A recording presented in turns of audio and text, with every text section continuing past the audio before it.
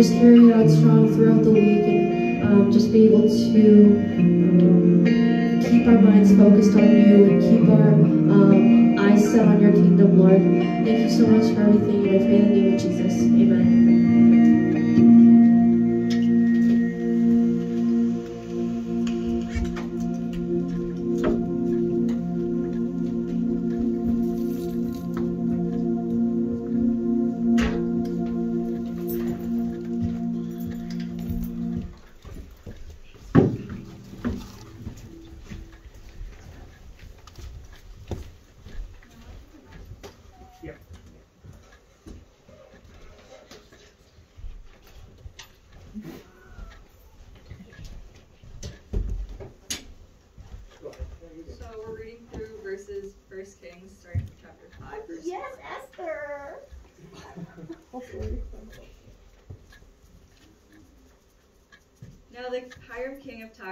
Servants of Solomon when he heard that they had anointed him king in the place of his father.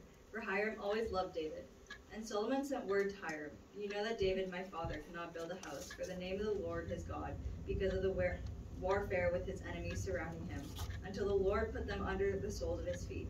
But now the Lord my God has given me rest on every side. There is neither adversary nor misfortune. And so I intend to build a house for the name of the Lord my God, as the Lord said to David my father. Your son, whom I sent on your throne in your place, shall build the house for my name. And then we continue to verse 8, chapter 8, verse 1.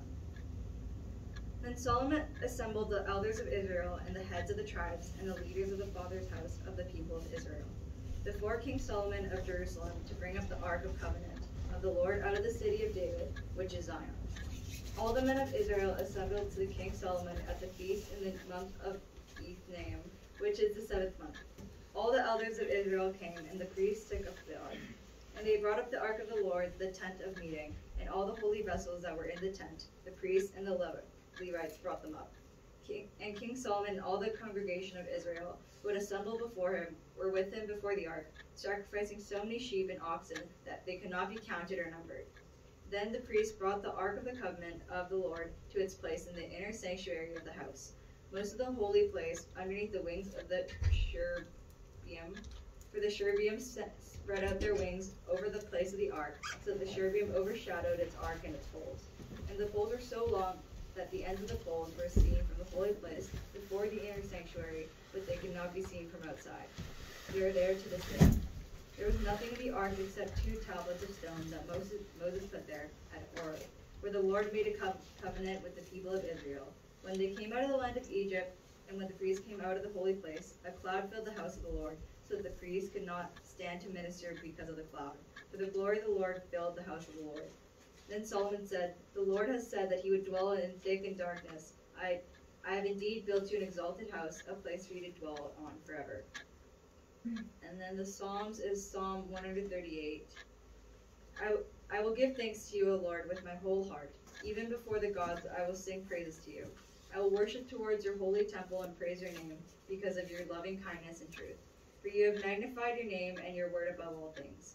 When I call upon you, you hear me and give me increase of strength. All the kings of the earth shall praise you, O Lord, for they have heard the words of your mouth. They shall sing the ways of the Lord, and the great is the glory of the Lord. For the Lord will be high, yet he has respect for the lowly. As for the proud, he beholds them from afar.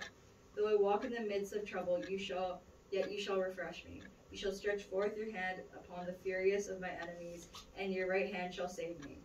The Lord shall make good, his loving kindness towards me. Your mercy, O Lord, endures forever, despite not the works of your own hands. Yeah. Esther, yeah. Yeah, yeah, yeah. Good job, Esther. Thanks, Claire. Yeah, thank you so much, Esther. That was great. Uh, let's just pray real quickly. Uh, Heavenly Father, Lord, thank you for today. Thank you for uh, just bringing us here and uh, allowing us uh, to get through this week and to uh, enjoy a new week and be entering into a new month starting tomorrow. Uh, Lord, as we, we go into this time of just learning about your word, let the words of my mouth and the meditations of all our hearts be acceptable in your sight, O Lord, our rock and our redeemer. Amen. Well, good morning, everybody. Uh, uh, Harry and Jenny, you guys uh, slipped in at the last moment. I was like, oh, I wonder if they're coming today, but, but you guys made it. So cool. Uh, and Esther's in second service, paradoxically, even though she's she's been coming to first for the last little bit. But but thank you, thank you so much, and thank you for uh, just reading the Word of God to us and, and allowing us to receive that. That was brilliant. Thank you so much. Um, so who was here last? Uh, Dan, Dan and Karis, you were here last week, right? Dan, uh, Daniel, do you prefer, do you prefer Dan or Daniel? Do you care? You don't care. Okay. Dan is just easy for me. I feel like that'll help me. Uh, uh, and, and Esther was here last week as well. Uh, do you guys remember kind of what we talked about last week? Or who we talked about last week? Let's put it that way, because we're kind of focusing on certain characters. Esther, do you remember? David. David, perfect. Wonderful. Good job. And then uh, Daniel, do you remember kind of what we talked about David? What, would you remember what the story was that we read? Let's put it that way, actually. Uh, I only remember we talked about King Saul. We did talk about King Saul. Yeah, that's right. Good. I, I like that because we need to know context for what's going on with David, right? For sure. Perfect. That's awesome. Uh, Karis, do you remember what story we talked about? Uh, not really, but I think I remember like David being like not so great. Yeah, per, you, you're jumping ahead of what I was going to, but that's awesome. Yeah, yeah. So we talked about uh, uh, the story of where he was anointed, right? Uh, and and he's barely in that story, but it's, it's very interesting. And and we talked about David, and and like you said, Karis, right? It was that. Say, say it one more time. Sorry. David wasn't being so great. Yeah, David wasn't perfect, right? So the, the story we read didn't really reveal that he wasn't uh, uh, perfect and great, but the, if you, you read on in the story of David, he's kind of got some issues, right? He doesn't do everything perfectly, okay? Uh, but what what was unique, what was significant about David, despite the fact that he didn't always do perfect? Uh, uh, what was what, why did God choose David? Do you guys remember that? Jenny, how about you? Um, I don't know. He's like he was like the youngest son, and He like the yeah. he just seemed like the least likely to be called upon. Definitely. And God just kind of has a habit of doing that. But there's something special. When, when we read in the story, right, so, so uh, uh, Jesse, David's dad, brings out the first son, right? And Samuel looks at this guy, and he's, he's apparently a good looking guy. And, and Samuel's like, this has got to be the guy, right? You guys remember that part? Yeah. And then what God says, hey, like, don't look on the outward appearance. I don't look on the outward appearance. I look upon the Come on, guys. Heart. Heart. There we go. Okay. Look upon the heart. And so, David, you know, he he's not. When we look at David and we look at his life, we don't see a life that we're like, oh man, I want to do everything just like David because David was almost a mob boss by the end of his life. And I don't want you guys to become mob bosses, okay? Not a good life plan. Uh, but but but perpetually we see David have a contrite heart. He, he wants to desire after God. He, he tries to be uh, uh, loving. And, and honestly, most of our psalms are, are attributed to him. And you just see his heart after God. And so, despite the fact that he, he didn't do everything perfectly, he, he sought after and desired God, as I hope for you guys. Because we don't honestly do everything perfectly.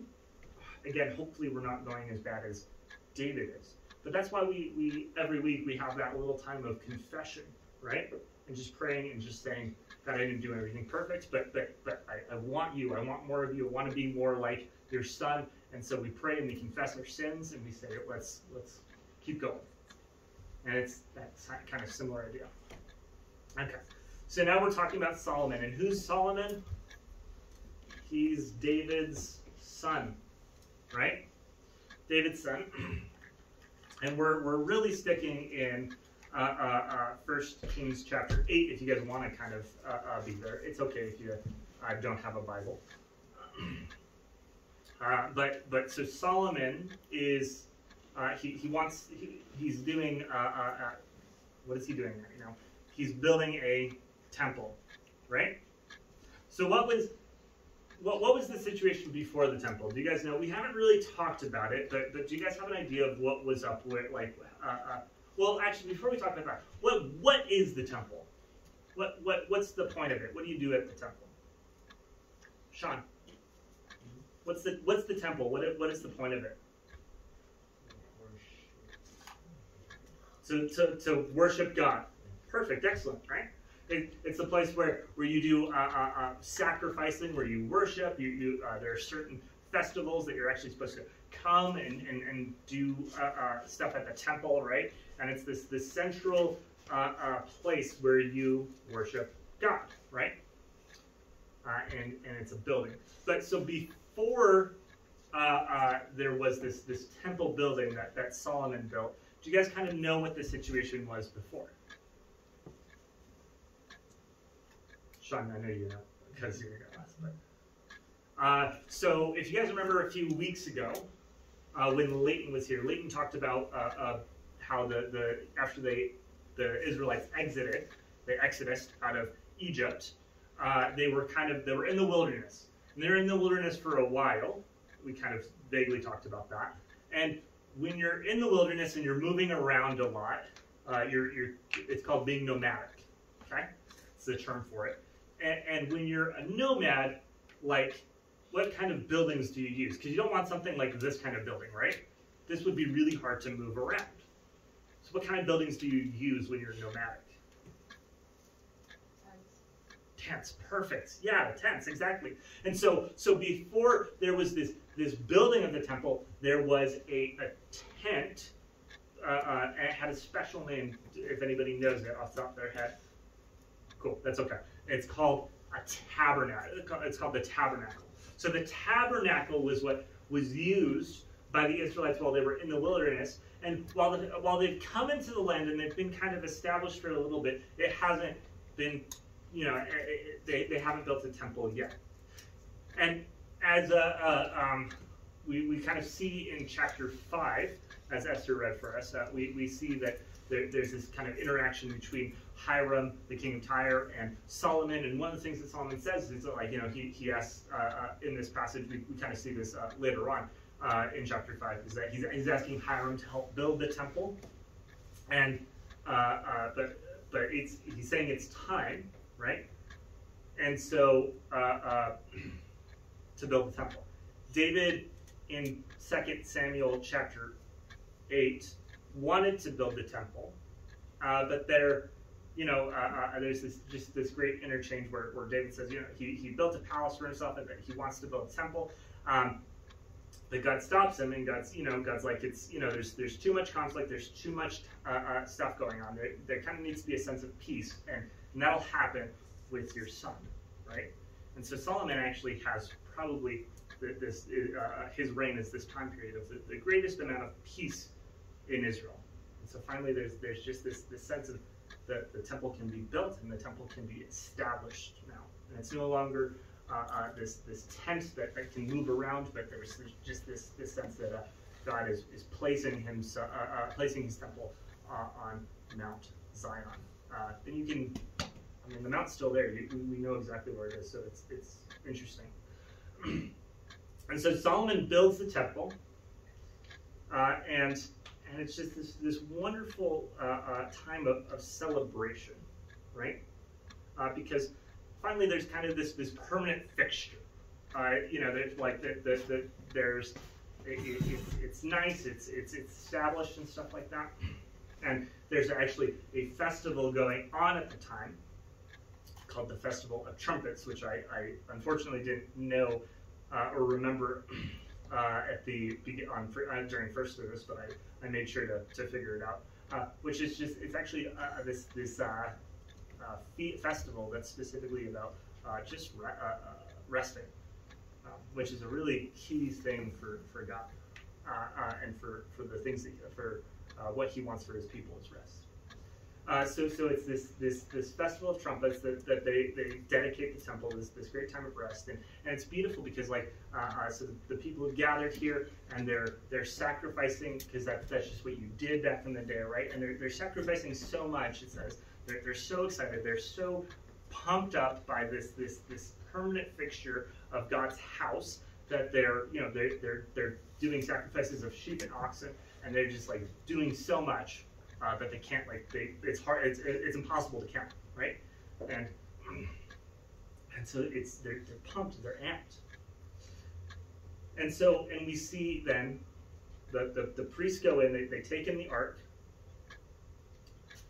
And, and when the priests came out of the holy place a cloud filled the house of the lord so that the priests could not stand to minister because uh, of the cloud. For the glory of the lord had filled the house of the lord and so uh, uh, this this this cloud uh, is kind of harkening back to something else that we, we didn't get a chance to read through, but that you, you can see in Exodus.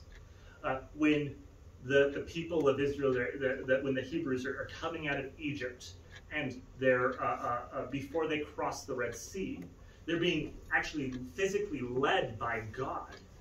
He, he appears at night as a pillar of fire uh, that just is in the center of the, the encampment uh, of the, the fleeing Hebrews.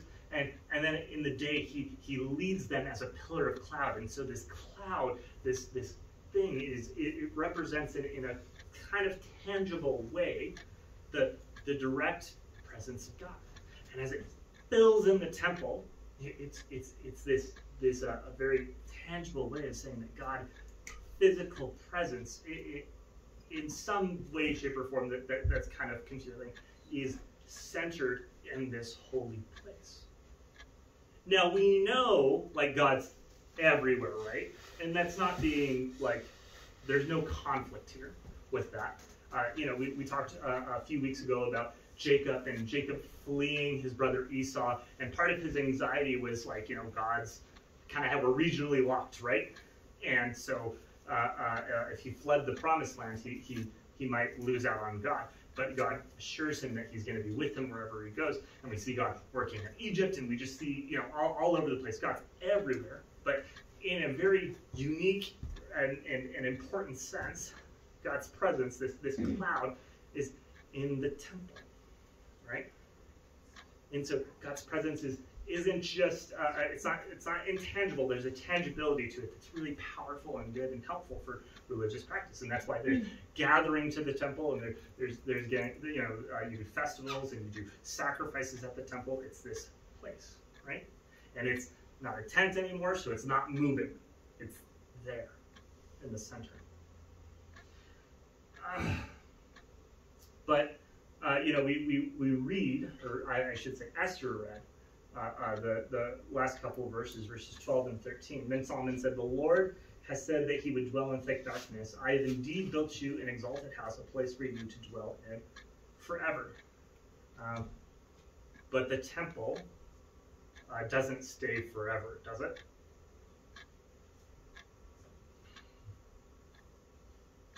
Esther, what do you think?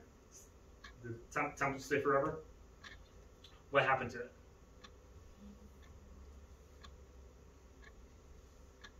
It's okay. No, you're okay. Uh, Daniel, do you have an idea of what, what happens with, with Solomon's temple? It gets destroyed. Gets destroyed, yeah. Do you know by who? That's okay. So uh, uh, uh, much further into the future, and we'll, we'll, we'll touch on it briefly, but uh, the temple gets destroyed uh, by the Babylonians. They Come in and they, they take over.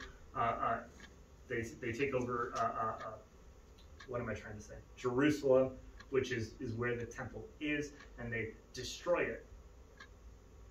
Uh, but but as much but again, as, as we talked about how God's presence isn't stuck there, uh, there's actually this great image in the prophet Ezekiel of, of God's presence leaving the temple uh, and residing in Babylon, where his people were taken captive.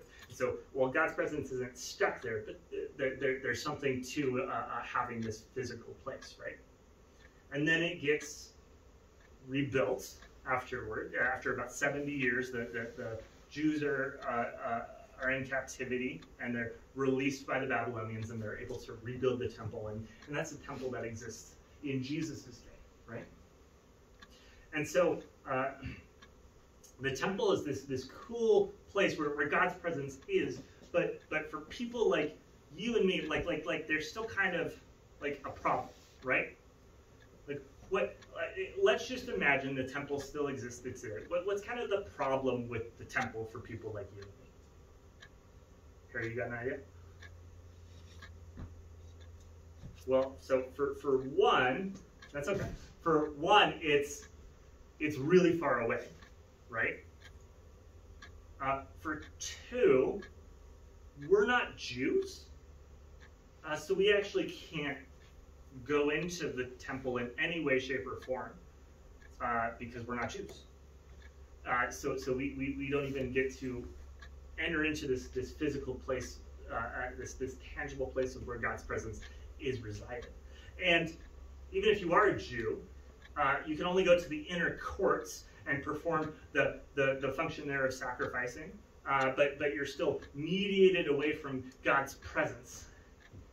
But if you're lucky enough to be a, a Levite or a priest, you can actually go into the holy place, uh, which, which is a little bit deeper in, and, and you get to be even closer to God's kind of physical presence and, and to, to perform religious functions. But you're still uh, uh, separated and, and, and, and split off from the Holy of Holies and who's the only person that can go into the Holy of Holies?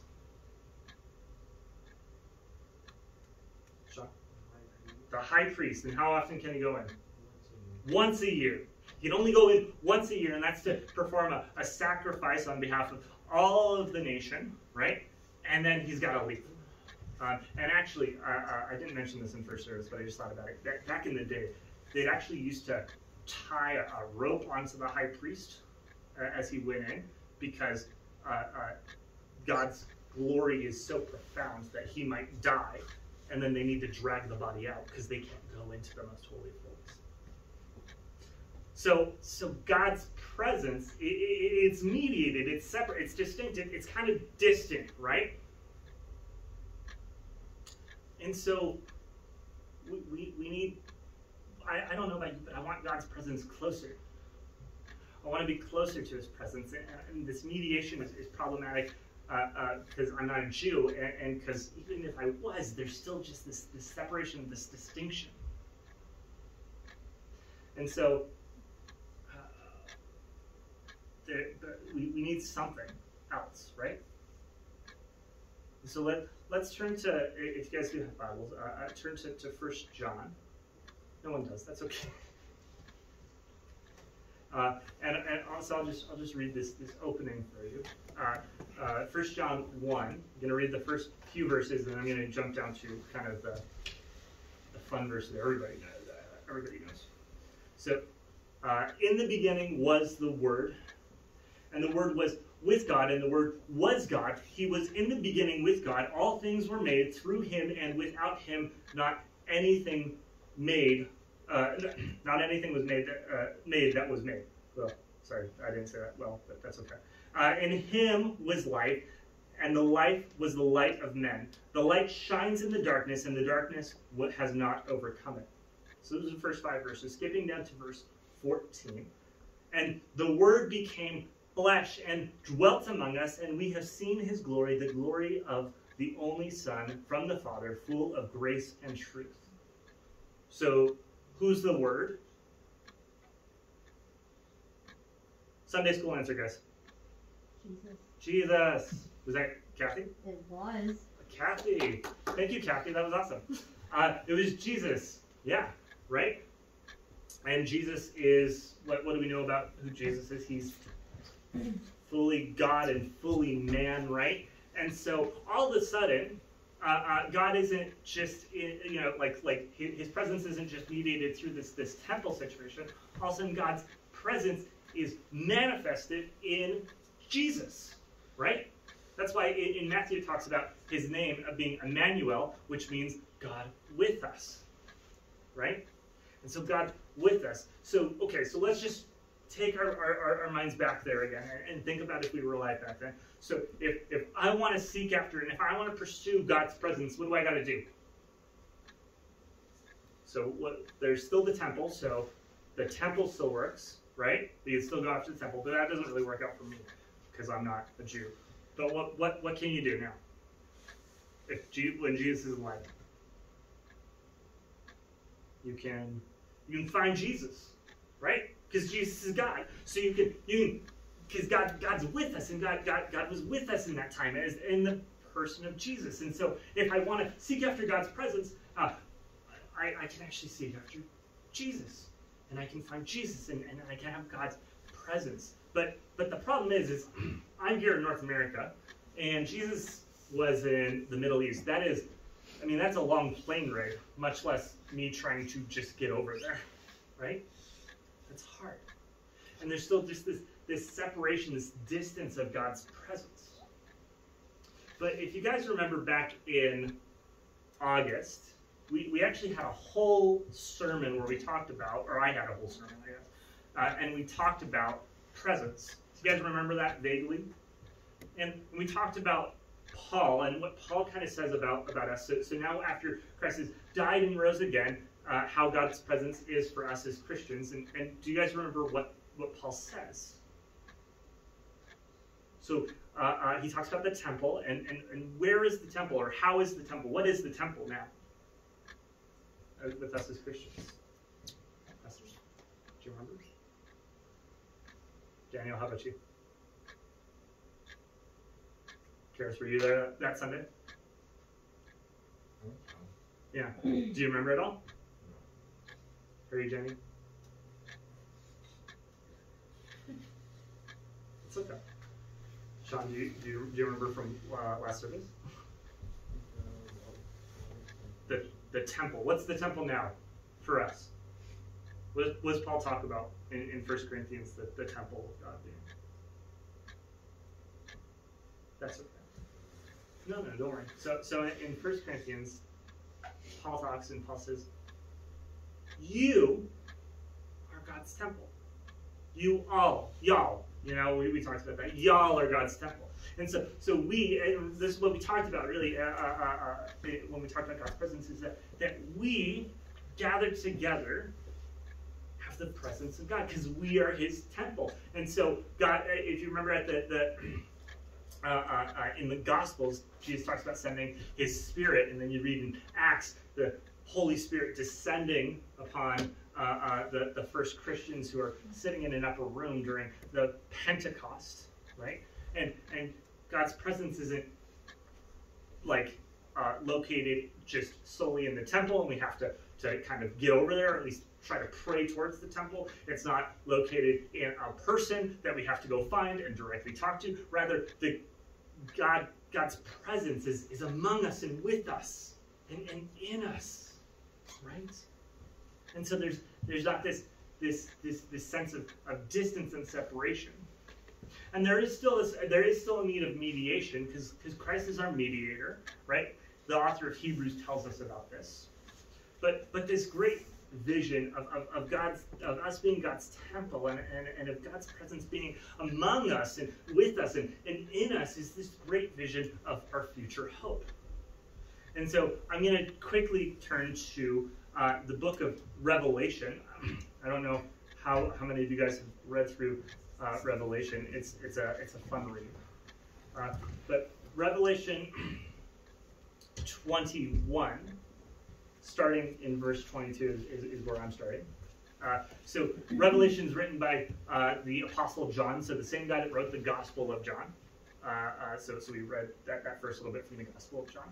And, and right here he's talking about this, this vision that he's having, that God's giving him. And, and part of this vision at this point is him talking about like new creation. So after Christ comes again that we talk about it when we, when we can, uh, uh, talk about the creed. We're, we're, anticipating him coming again, judging the living and the dead. After that, there's going to be new creation, this new world, this new heaven, new earth, and, and a new Jerusalem, this new city that's been established, right? So he's talking about just this beautiful new creation. And, and in it, verse 20, uh, chapter 21, verse 22, and I saw no temple in the city, for its temple is the Lord God, the Almighty, and the Lamb. And the city has no need of sun or moon to shine on it, for the glory of God gives it light, and its lamp is the lamp is the Lamb. By its light will the nations walk, and the kings of the earth will bring their glory into it. And the gates will never be shut by day, and there will be no night there. They will bring into it the glory and honor of the nations. But nothing unclean will ever enter it, nor anyone who does what is detestable or false, but only those who are written in the Lamb's book of life. And so, in this grand future that, that we're hoping for and anticipating and awaiting, where after Jesus comes, he, he judges, and we have new creation. We, we're, we're- we have this physical resurrection, like, like Jesus says, when we're given new perfect bodies.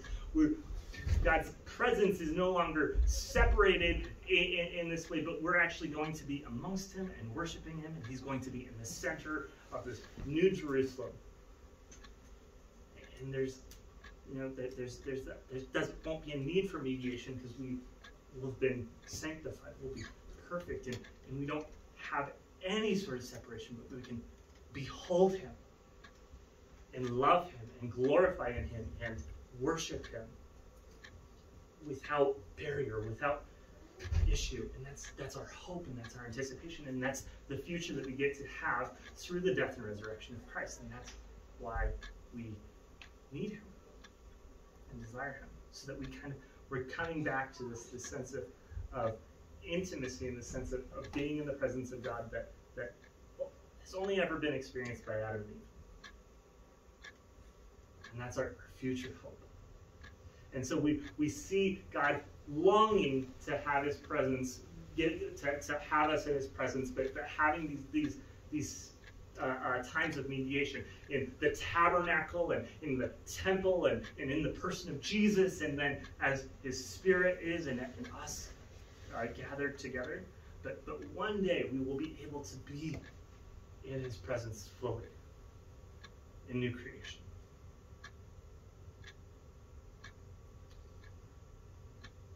Guys, just uh, quickly, uh, please stand with me as we, we uh, say the Apostles' Creed. We do this every week because it's good to know and, and, and know what we believe and, and continually say it and confess it. And, and it's good just in case I say anything crazy and we're like, this, this, is, this is good stuff. Uh, please say it with me. I believe in God, the Father Almighty, maker of heaven and earth, and in Jesus Christ, his only Son, our Lord, who was conceived by the Holy Spirit, born of the Virgin Mary, suffered under Pontius Pilate, was crucified, dead, and buried. He descended into hell. The third day he rose again from the dead. He ascended into heaven and sits at the right hand of God the Father Almighty. From thence he shall come to judge the living and the dead. I believe in the Holy Spirit, the holy Christian church, the communion of saints, the forgiveness of sins, the resurrection of the body, and the life everlasting. Amen. Uh, guys, you can be seated as we pray. Uh, every week we just pray through a, a, a few things uh, that we just want to be attentive of um, weekly. Uh, as I go through the, the kind of different topics and different things, i- if there's something that's on your heart and you feel like uh, you want to pray about it, you, you can feel uh, comfortable just saying it out loud. If you don't feel comfortable saying it out loud, that's okay. You can be quiet, say it in your heart, because as we talked about, God's presence is here. His Spirit is within us, and so He knows our hearts. So let's pray.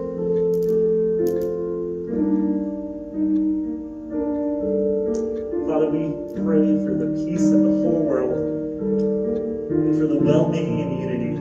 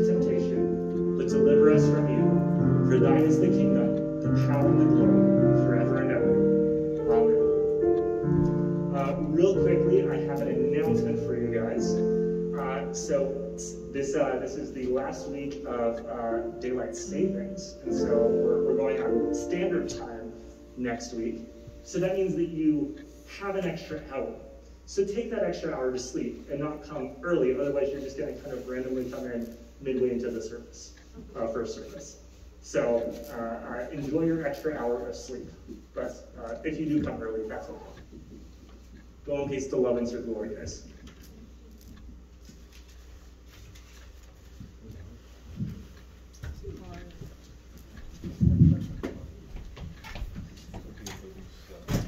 Have a good week. Uh, you can toss it if you want. yeah.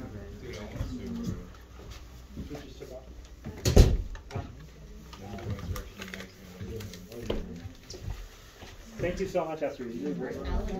Was that, were you nervous? Not really. Good. I was just reading off the papers. Yeah. Thank you.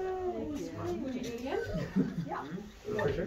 Where is Alright. Poland? Is it okay if I ask kind of like once a month? Just that? Yeah, like it's, I can go like every week. I, I, well, how about that? I'll, we'll do every other week for now. No. And then, uh, 'cause I want to try to get people on board.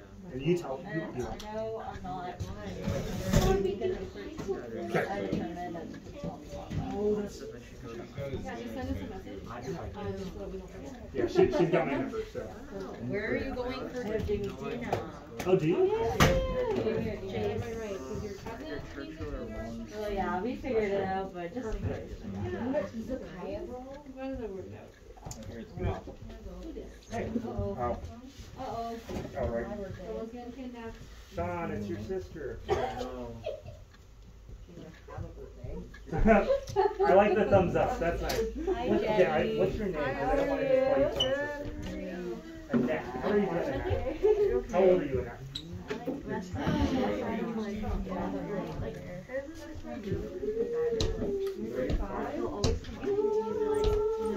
Nice. What, what's your birthday? Like so well. See you here, or like, I'll be like, Yeah, what day? when it's not sick, but then, oh, sorry, or like. Ten days before my birthday. Oh, And it must be like, weird And for it's just kind of crazy because it's like, There. I'm fifteen, it's like, Thanks for, uh, part of it. well, a bit more confident. It's like, not like a, hey, what's up, it's like a, I next, and it kind of like freaked me out, and then I was talking about how it's like, like a fish, and we were talking about, we were talking about subject, and like, I was like, oh my god, there's so many people here. Enjoy sleeping, uh, in for hour. And I was like, kind of like, oh, well, I mean, and then they walked in, and like, she was like, oh, Uh, you're just, you have such a good look today, by the way. Like, I know, like, honestly. I'd appreciate it You're looking like, the way he acts, like, Yeah, definitely. Yeah, you're looking so good today. So, yeah.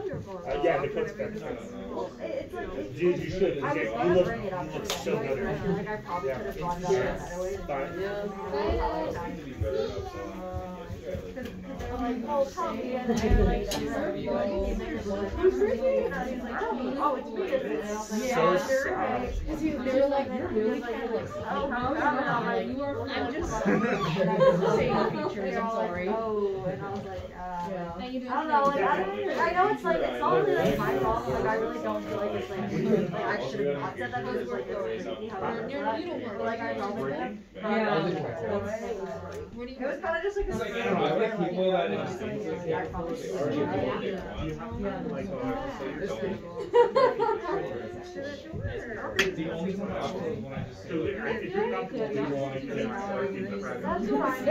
I like, might be, it might be like a very touchy person. Like, like, like, oh, not- not like, as always. uh, Uh, What are you doing, I feel like that's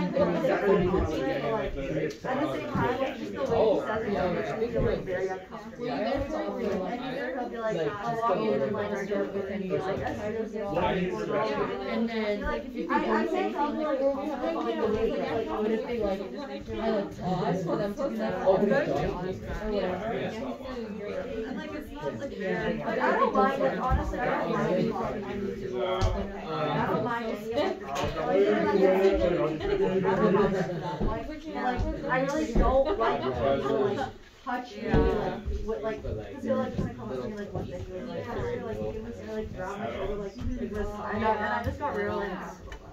It'd be awesome if you could like, I'm sorry for patting you on the shoulder. I felt, I like, I felt very embarrassed about it afterwards. I was like, oh shoot. You're all good? always forget Perfect. for some reason. I write it down. I don't know, like, I just like, yeah, like, I did it last night, like, the more I think about it, the more it's like, it's just like, oh, no. I mean, like, so, I was gonna bring this to the. I was gonna just bring it up, like, hey, like, I would, like, It's like so annoying though, 'cause they're like, that's what we always do. just make sure that everyone knows that, like, you should have just told somebody, like, like, like, just Be grab, like, like, oh,